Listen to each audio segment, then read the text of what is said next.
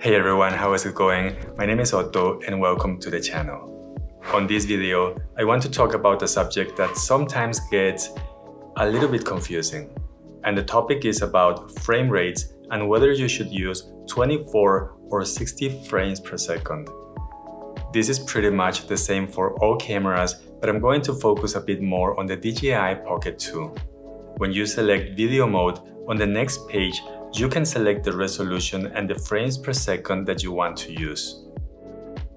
Now, before I keep going, I want to be clear that there is no perfect frame rate and they are going to have different results depending on which one you use. Just to have a general idea, 24 frames per second has become kinda like the standard for most of the movies that we watch. There have been a few movies like The Hobbit that were shot at 48 frames per second and even though the movements seem to be more realistic, more fluid and smooth, some people don't like it because I think our brains are trying to see 24 frames per second as normal. When it comes to video games, having more frames per second is going to be more appealing, but we're not talking about video games today.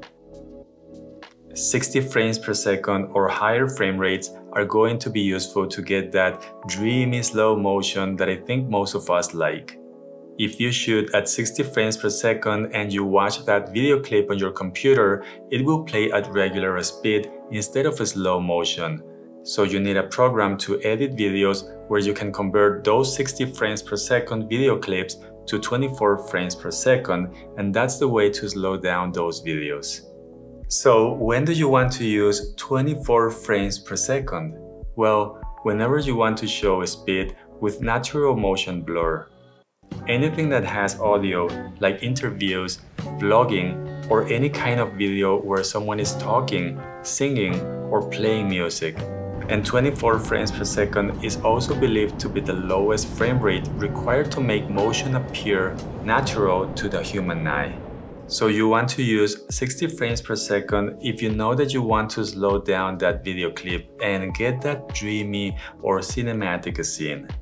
You have to keep in mind that too much slow motion makes the whole video looks kinda slow. And having too much slow motion is not going to be very appealing. If you're using your Pocket 2 on low light situations, I highly recommend using 24 frames per second to keep the shutter speed lower. If you use 60 frames per second on low light situations, the shutter speed is going to be higher. And the higher the shutter speed, the less light will go into the camera sensor.